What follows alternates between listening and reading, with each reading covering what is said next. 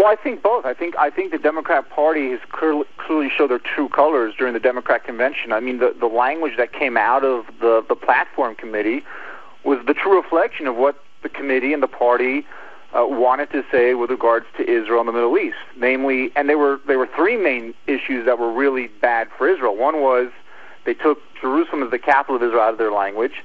They put it back in when they saw the public public relations nightmare that was coming at, coming down the, the road. But worse, they took out language that recognized Hamas as a terrorist organization or, and calling on Hamas to renounce terror before being able to enter a peace agreement with the, the, the Israelis. And they also took out language that prevented the idea of Palestinians from claiming refugee status and returning to Israel and settling in the land of Israel after a peace agreement was made. These three things are devastating for the state of Israel. And the Democrat Party, clearly the true reflection of the party was what came out of the, the platform committee. It's uh, George uh, George Birnbaum. He is the former uh, chief of staff under Benjamin Netanyahu in Israel. Uh, let's dial it back a little bit. Sure. Let, us because you know uh, the, the, uh, as much as I understand where you're coming from, and, and probably most of, of who's listening understands where you're coming from. Let's dial it back a little bit and let's look at the actual situation in the Middle East. Um, at one point under Bill Clinton, 97 percent of what the Palestinians wanted was offered to them. 97 percent, and Arafat turned it down. Um, Bill Clinton wanted that to be his legacy and not the fact that he was impeached, and he failed at getting it done. Um, the Palestinian complaint was Israel's offering us 97%, but it's a piece over here and a piece over there, and it'll still be occupation this. And uh, George, do you think the Palestinians really want to broker a deal where there can be two states there, or do you think they just want the whole thing? No, they want the whole thing. I mean, it's clear that listen, I, your listeners who are businessmen and lawyers and and even people in, in personal relationships understand that negotiations are about giving and taking. And I can't imagine any person who listens that would go into a negotiation and get 97% of what they're asking for to walk away from that. Am now, I right on that number? Wasn't it 97%? It was about 97%. I mean, it was it was it, Ehud Barak was the prime minister at the time, right. and and he literally gave uh, Yasser Arafat, who was at the time the chairman of the Palestinian Authority, about 97, 98 percent of all they were asking for. The, the the the message that I think most Israelis got, I think the Americans to some degree, even Bill Clinton, was that um, at the end of the day, what the Palestinians want and what the Arab world wants is a Middle East without Israel. Um, there's no, there's no I don't think there's any misunderstanding in, in what their final intentions are. And, and let me ask you this: um, when it comes to the situation uh, in that region. Um, many people are saying, well, that was always Palestinian land. Mm. That was always where, it, biblically, it was called Philistine.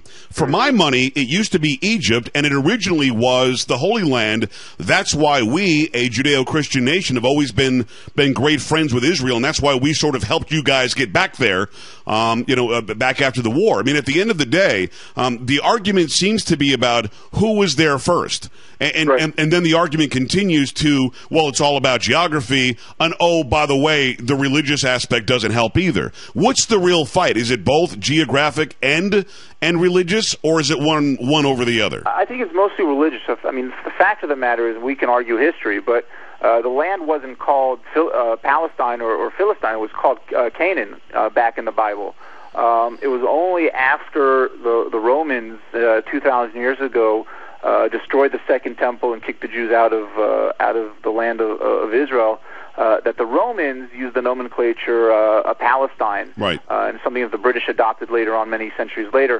In any case, uh, you can argue the history. What, you, what, what we know for a fact, and you can anyone who visits Jerusalem today uh, can can go and see a lot of mosques and pretty pretty sure that underneath every one of those mosques lies the ruins of either a, a synagogue or a church. Right. Um, and I, I would tell your listeners that if you were to be walking around Jerusalem 2,000 years ago, when Jesus was walking through the streets of Jerusalem, uh, the thing he saw on on on Mount Moriah, the, the Temple Mount, uh, was not a church. I mean, he had not died yet. He had not died on the cross yet. Christianity didn't exist. He certainly didn't see a mosque because right. Islam hadn't existed yet for another 700 years. He saw one thing: the Temple of the Jews. Um, that's indisputable. And so uh, I, I think it's a mostly religious battle. Um, it, it certainly, if you read Mark Twain's writings from uh, a few hundred years ago, a hundred years ago, when he was walking through Palestine, he said Palestine was awash in ash and sackcloth. No one cared about the land. Only one people cared about the land, the Jewish people. It took 2,000 years to get back there.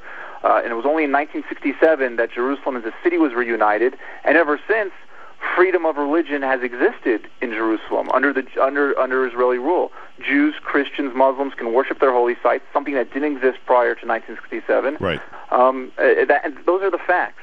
It's uh, George Birnbaum. He is the former chief of staff under Benjamin Netanyahu, and, and he's got a very loud wonderment that I wonder as well uh, what's going on with the Democratic Party in America and what's going on with this administration. Uh, one of the first forays by President uh, Barack Obama was to go to Cairo, Egypt, and to hold a, a, a speech where he pretty much said Muslims created the entire world.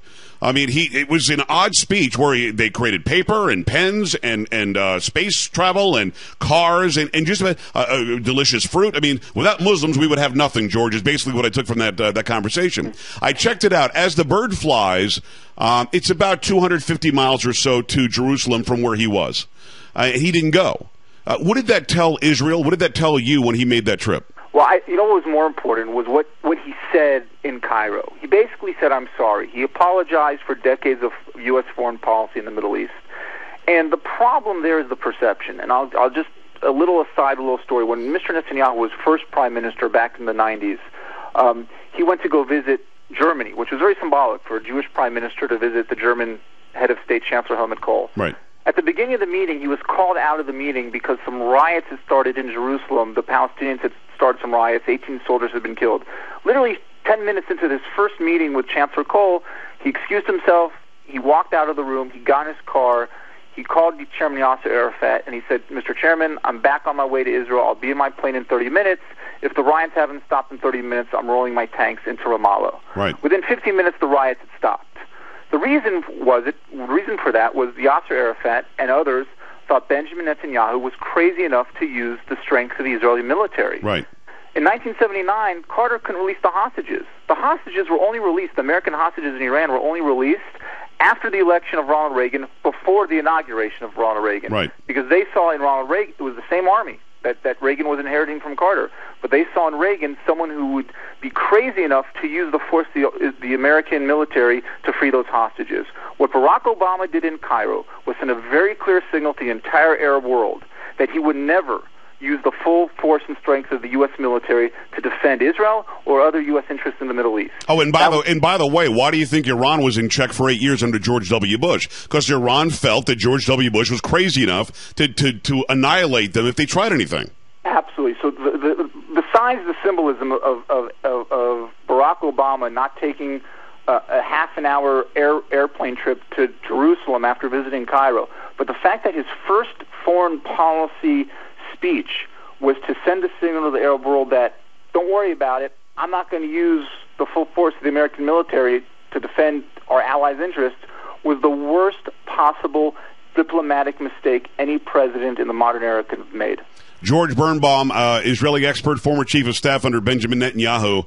Uh, the president has not gone back to Israel since he's been in office. We can talk about that in a moment. I don't have a ton of time left, uh, but but I wanted to ask you about what's happened in um, in in the Muslim world. You've got um, um, Egypt, where you had Mubarak had a peace accord with Israel. The Muslim Brotherhood has now taken over a radical Islamist group, and the military has taken over. They said we have no peace accord with Israel. Yemen is up in arms. Libya has been handed to been handed to the Muslim Brotherhood basically. Uh, nobody knows what's going to happen in Syria. The entire region is blowing up. And do you think that's a direct response to their their feeling that Barack Obama supports them, or their feeling that Barack Obama would never stop them?